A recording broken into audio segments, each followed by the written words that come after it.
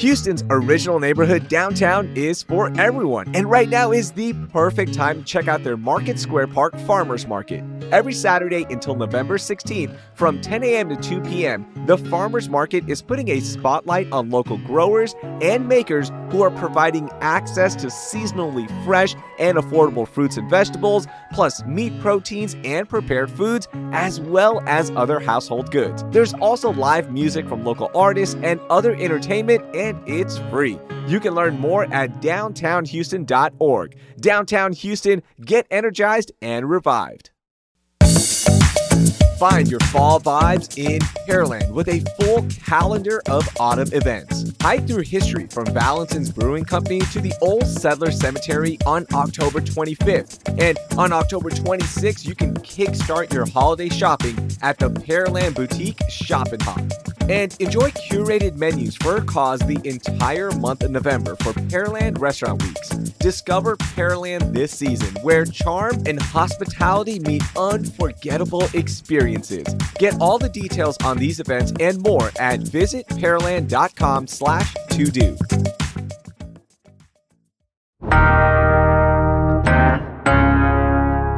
Today on CityCast Houston, Inflation has been a big talking point this election cycle. And while Houston still ranks as one of the more affordable big cities in the country, sometimes it doesn't feel like that to people who actually live here.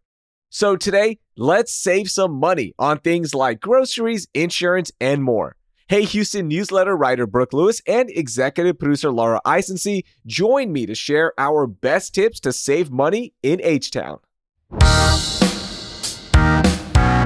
It's Thursday, October 24th. I'm Raheel Ramzanali, and here's what Houston's talking about. Hey, y'all, good morning. Brooke, what's up? How are you? Doing well. How are you doing, Raheel? I'm doing all right. Laura, good morning. How's everything going? Good morning. It's pretty good, but it definitely is one of those days where I like, I need that extra cup of coffee. Oh, so yes. I got that with me here. Oh, absolutely. That, that seems to be my kind of morning a lot now. like I just want more coffee and I just need it now. Hey, this is going to be one of my favorite episodes because around my friends and family, I am known to be very cheap. All right. and they make fun of me. Like I will go look for a bargain. I will hunt down coupons. I will do anything I can to save money. So, this is my type of episode, and I have a lot of advice. But what is your relationship to spending and saving, Laura? I would say for me, I'm a little bit of mix of both. I like to spend when it's a splurge, like a really nice dinner at a nice restaurant or a trip. Um, but then, like day to day, I do like to save money. I like to stay on budget. I like to save up for those splurges. So I'm definitely kind of a little bit of both. Okay, that's good to hear. Brooke, how about you? Yeah, I would say I'm in the middle, like Laura, where I love taking a nice trip, having a nice dinner, eating out.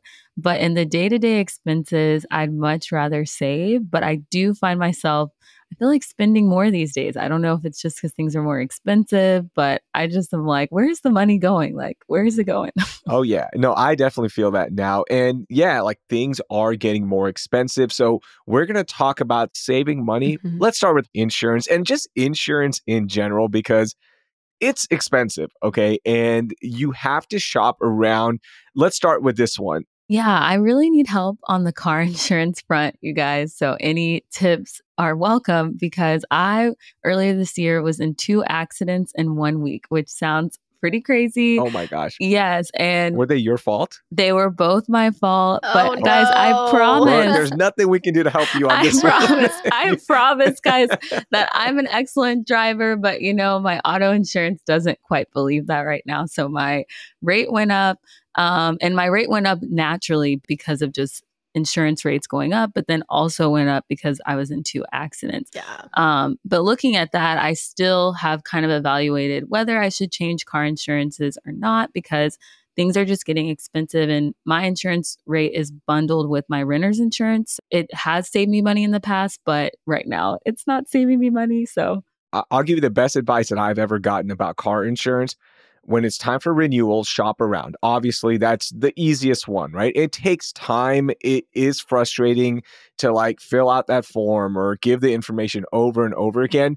But number two is jump on a call with somebody from the insurance company and go over your coverage plans because your car does depreciate in value. So you might not need as much coverage as before. Or you might need to adjust a few things. Maybe you don't need uh, X, Y, and Z on this coverage plan. So, really go through and talk to somebody who is qualified about your car insurance plans. Mm-hmm. With homeowners insurance, I can speak on this one. And this kind of goes with rental insurance as well. Use a broker these brokers are fantastic. There's a lot of companies out there that will shop around what you're looking for and find you a great deal. And it usually doesn't cost you anything because the insurance company will pay the brokerage their fee. So I've used this company for almost eight years now. It's called TGS Insurance. And every year when it's time for renewal, I call my agent up. And if he's not there, somebody else will help me out. And they will shop it around to so many companies and they'll say, look, this is my professional opinion. You should go with X, Y, and Z. You might save a little bit here, or you might pay just a little bit more, or whatever it is. They give you good advice and just helps you make a good, sound decision. Yeah. And I I want to go back to your your pain with car insurance because I have totally been there. This was maybe like eight years ago or, or more where I yeah, I had a couple fender benders not all of them were my fault, but it was really concentrated in like one year. And I was like, what do I have a target on me driving down the yeah. freeway? That's how I felt. And I'm, it did take a while. I mean, I think it took like five years for those to get off my record, yep. my driving record. But, you know, there's other things you can do to try and lower that car insurance like raheel was saying like you can go through your policy and you know maybe you have a higher deductible so you can have a lower premium. Um, also sometimes if you take a driving course um, they will knock it down a little bit. Oh interesting yeah. I didn't know that. That that is interesting. Yeah, and you can do these driving courses online. Um and so that sometimes that can kind of take the edge off.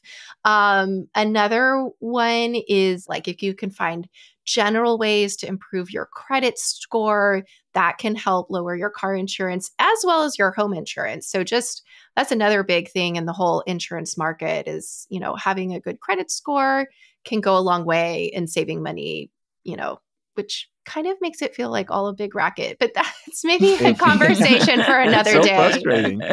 No, I appreciate that, Laura. I do feel like once you have one accident in Houston, it like opens up this weird vortex where you you do have a target. It's like you're gonna have another one in the next like six weeks or something, so that your oh. insurance rate will go up. Well, Brooke, drive safely out there. Let's hope for no more accidents, yes. please, especially if they're your fault, because at that point it's tough. Okay. Yes. There's really not much we can do.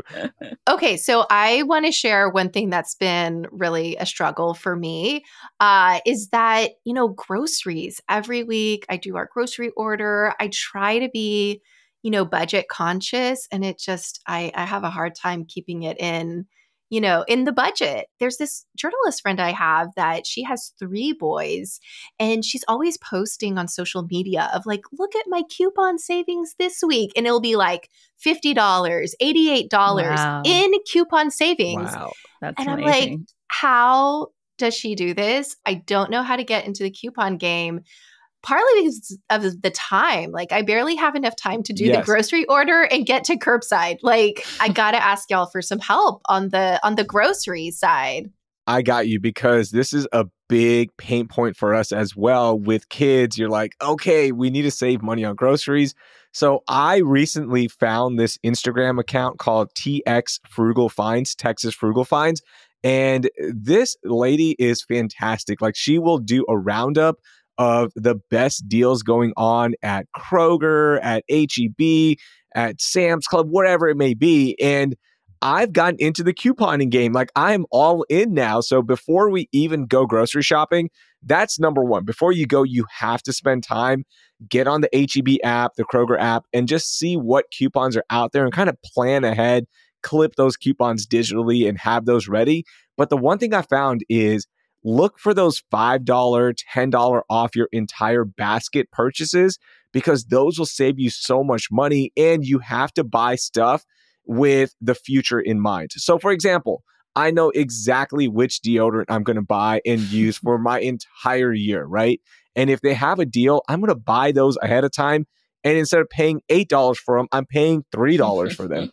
okay. So, Raheel, I want to know how many sticks of deodorant do you have in your bathroom right now? Right now, I have three spray cans ready to go. So I don't think I'm running out. Oh, only three? Uh, yeah. Only three? I thought you were going to say like 30 or something. No, like no, no. a whole stockpile. yeah, I'm not a hoarder slash like end of world prepper, but no, you just have to buy stuff with the future in mind, right? And then yeah. for weekly produce and fruits, you got to look at the coupons and buy accordingly because there's always sales. I just imagine Raheel leaving HEB or wherever he is with a big cart of deodorant, just like, yes, I saved, I saved. I do. I, I'm so proud of my savings. And the other savings tip for all my men out here listening don't let your significant other just go to the grocery store by herself. Okay. I'm just going to throw that out there. My wife is the worst at when it comes to this. Like, um, hey, can you just go pick up some um, milk? And all of a sudden, she's coming back with $150 worth of stuff. I'm like, what just happened here? So that's my other savings tip that a lot of people might not like. I mean, that sounds like a Target run as opposed to a grocery run where you just go in for one thing. When I'm in the grocery store, I'm on a mission. I will say I break the stereotype because I'm just in and out. Like I'm just kind of like, I have my items, I want to get in and out. Um, but I guess I have more tips for pe- the single people listening because I do have it way easier on groceries because I'm cooking for one person. So I really do try to stick to a grocery budget in mind. And I also try to think about okay, I'm not eating out during the week. Some people do like to eat out during the week, especially if you're a single person and you have time. But I really designate my eating out days to Friday and Saturdays. And so for the rest of the week, I'm just cooking um, for me and making bigger meals so that I can um, save money. So that's I would just nice. have a plan in mind and mm-hmm. not be like the way Raheel described, just going into the grocery store mindless. That's a good one. Meal prepping is so essential. Yes. And just yeah. knowing what you're going to eat, you're not making big decisions. You just know, like, okay, this is my lunch. I've prepped it for the week. That helps a lot. But with kids, it is harder they don't want to eat the same thing every single day. So it is a little bit hard. But for adults, I do that. I just meal prep for the whole week and I know exactly what I'm going to eat. I buy enough for the week. So it's great. Yeah. And Brooke, I totally hear you on kind of saving the eating out for, you know, the weekend, special occasions. And just this week, one of my parent group chats was blowing up with eating out hacks, specifically all these restaurants that have deals of kids eating free. Uh, so you can find really great deals like Dish Society, kids eat free on Tuesdays. Mendocino Farms, they have kids eat free on Thursdays. Other places can have really great um, you know, family style meals, whether you're going as a family or a group of friends, um, like Feges Barbecue. Apparently, that was in the group chat. So, another kind of eating out hack that I've done before is maybe get kind of a special entree from a restaurant. Um, so, like, I really love the gluten free fried chicken at Max's Wine Dive. um, and then I'll get it to go and then, like, make the sides at home. So it's sort of like, oh, I get the bonus of something special and that like I can't cook at home, but then it balances out by doing sides at home. Yeah. One more hack that I recently discovered is, you know, a lot of restaurants they want to support the community. And so maybe they do fundraisers for community schools or uh, that, that are called like spirit nights, or maybe they do other uh, fundraisers for charity. And so when you go out and eat that night, I feel like my money's doing double duty because, yes, I'm getting the meal for me or the fam, but then part of the proceeds are going to a cause that I support. And so it's kind of like, you know, you get to do two things at once. Your dollar goes a little bit further, right? You're helping yeah. out the community and you're getting a really good meal. So I, yeah. I love that one. So definitely look out for those types of deals too.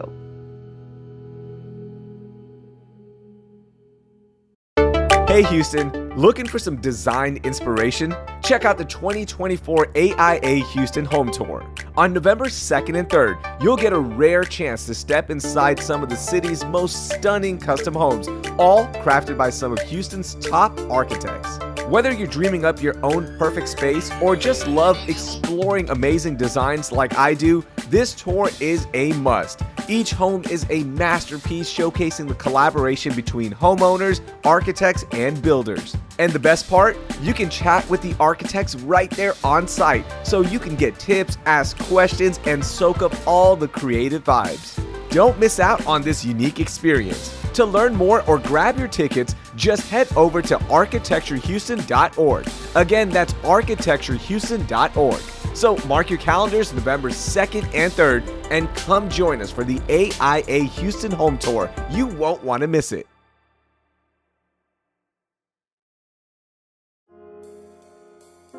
The British International School of Houston is an international and diverse private school with top academic results in a state of the art campus serving children from pre K 3 to 12th grade. The British International School of Houston offers an outstanding private education with state of the art facilities on a sprawling 32 acre campus unlike anywhere else. They recruit teachers who are global talents to inspire students' confidence, resilience, and creativity with an international minded environment. Students build pathways to the world's best universities through excellent results and internationally recognized qualifications. Are you interested in learning more about the British International School of Houston? Search BIS Houston today and get in touch with their admissions team. You can also join their upcoming open house on October 30th by registering online. That's the British International School of Houston.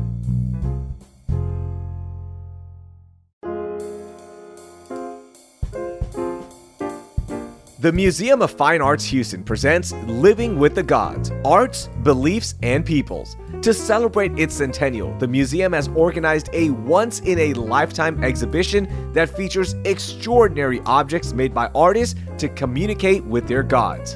Living with the Gods represents a vast array of religions and beliefs, with art created across cultures and across thousands of years. The 200 objects demonstrate the astonishing quality that artists have achieved when driven by passion and faith. Living with the Gods is on view from October 27th through January 20th, 2025. Visit mfah.org slash living with the gods to learn more. That's mfah.org slash living with the gods.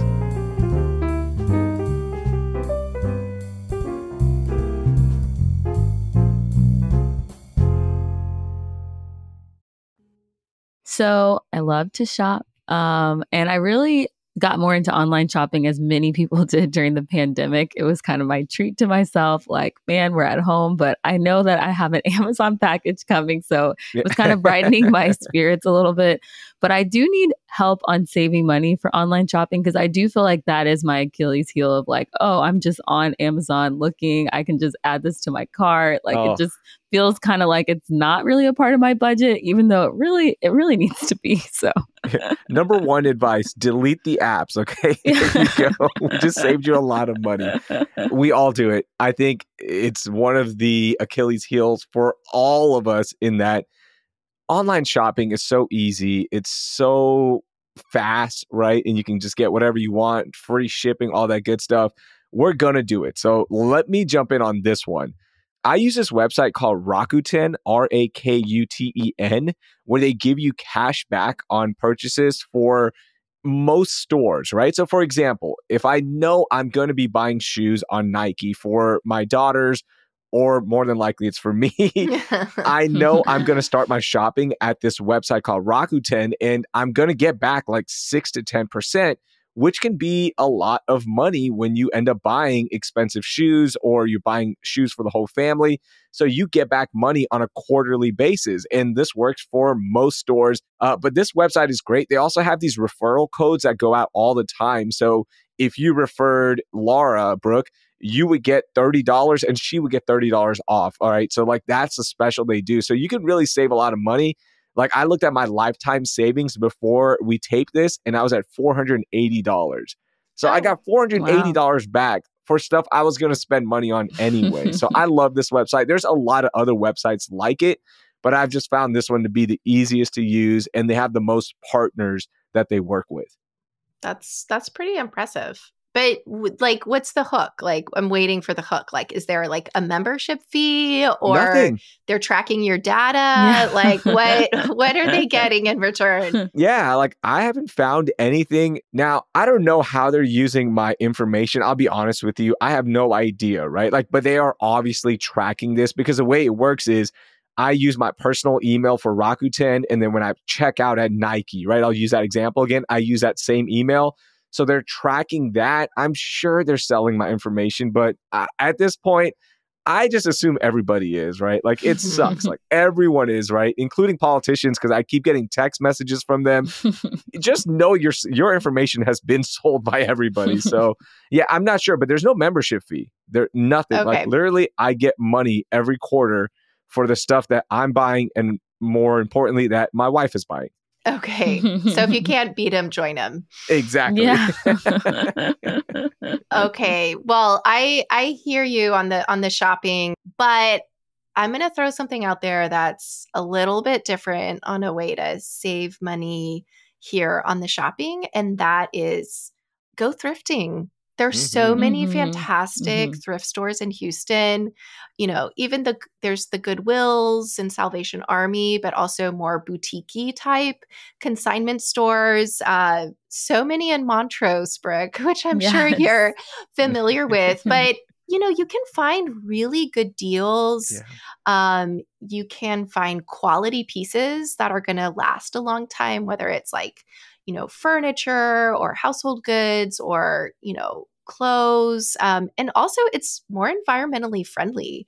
You know, there's no packaging and shipping, and the stuff is already made and it's not going to a landfill and you're giving it a second life. Um, but you can get some one of a kind things at thrift stores and yeah. so many great deals. On that wavelength, I love using Facebook Marketplace. It has been so clutch for me when I'm looking for household appliances, right? Mm. For example, I needed a fertilizer spreader. So instead of going and buying a new one, I just searched that on Facebook Marketplace and found like 10 around me that were selling for like 60% off the retail price. They've obviously been used, but some items it's okay if they're used. So I like that a lot. I think it's one of the best things they've done. I have saved so much money and resold so much stuff that and given my stuff a second chance as well. Another one of my favorite things is buy nothing groups on social media. Yes. Where you get to just give stuff away or find free stuff kind of more neighbor to neighbor and it's all neighborhood based. I don't know. How does how does that all sound, Brooke? It sounds like work, but but it's gonna take it does sound like I know it does sound like time. But you know, I do love going in person to shop. So I definitely will check out more of the thrift stores in Montrose yeah. and even the the app that Raheel was talking about where he has saved four hundred and eighty dollars. Like that that is appealing. So I'm gonna check some of these things out. Put in time, okay?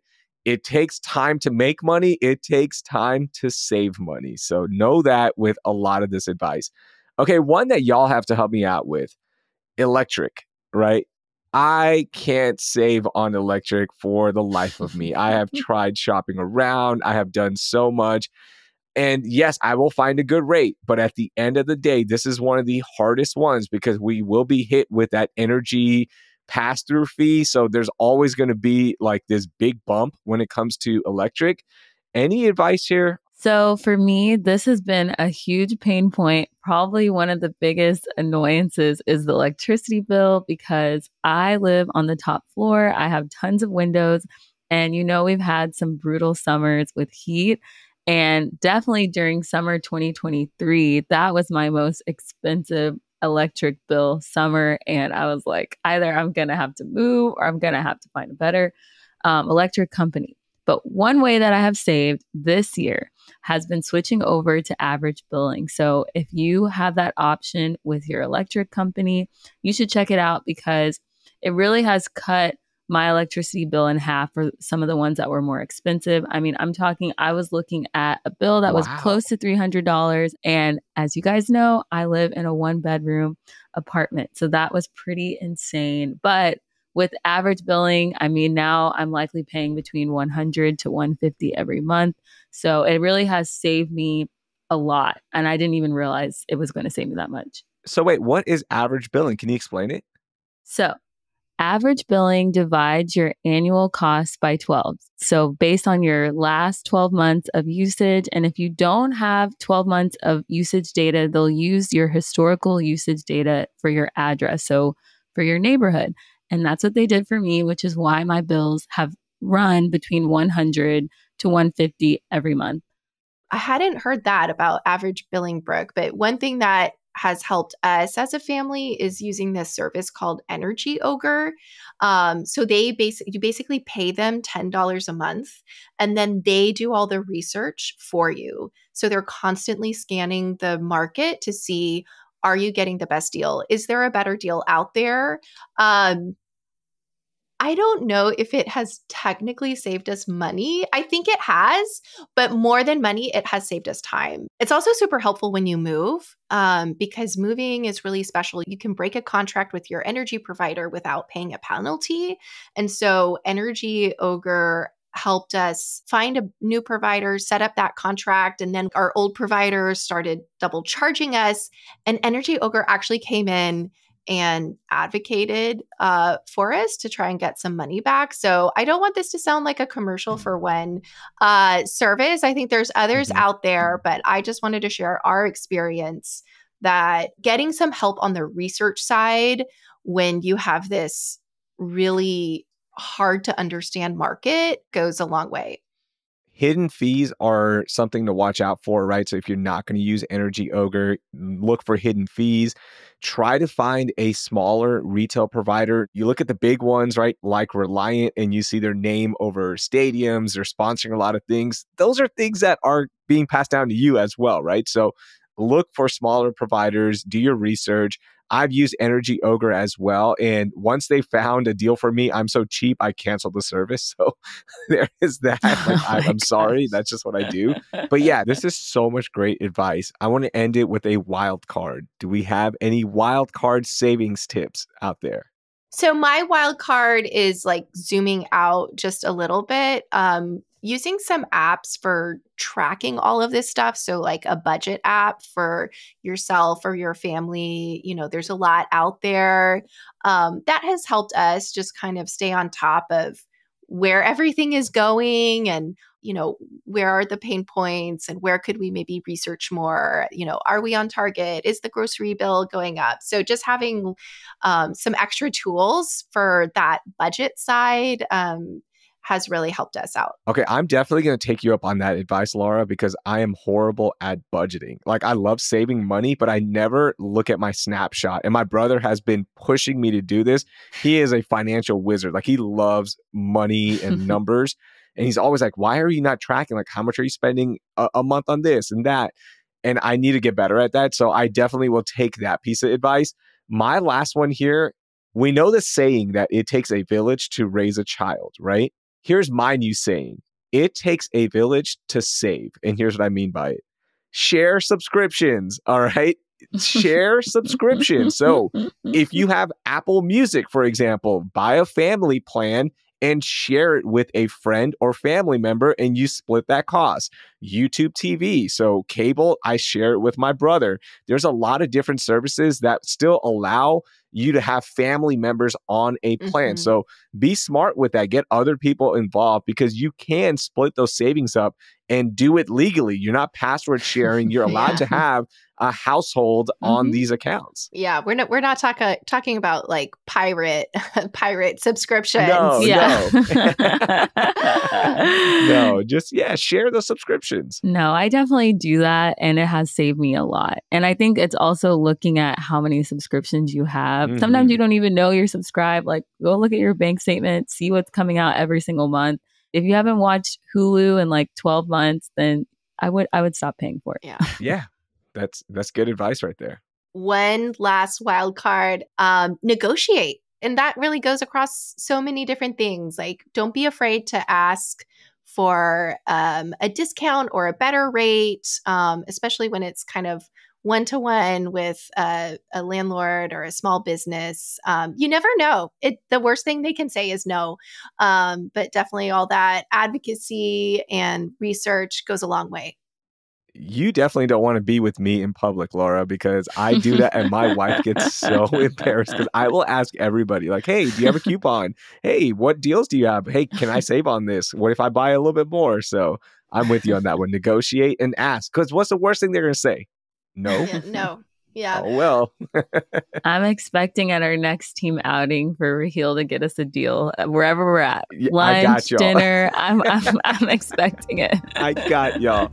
Okay, that was a lot of fun. And hopefully these tips help y'all to keep Houston affordable. And please share your tips with us as well on Instagram at CityCast Houston.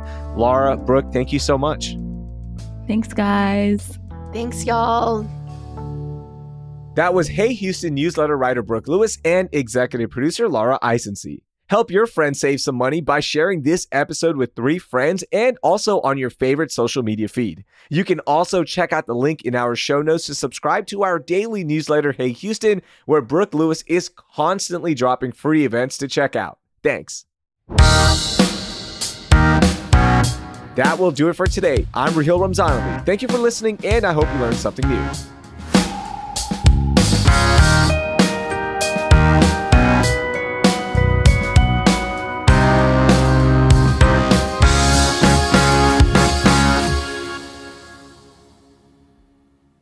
Right, let's do this. Let me pull this up. Oh, and now he is blowing the grass. I don't know if y'all can hear that. I do. Give me one second. He's literally like walking the other way. All right.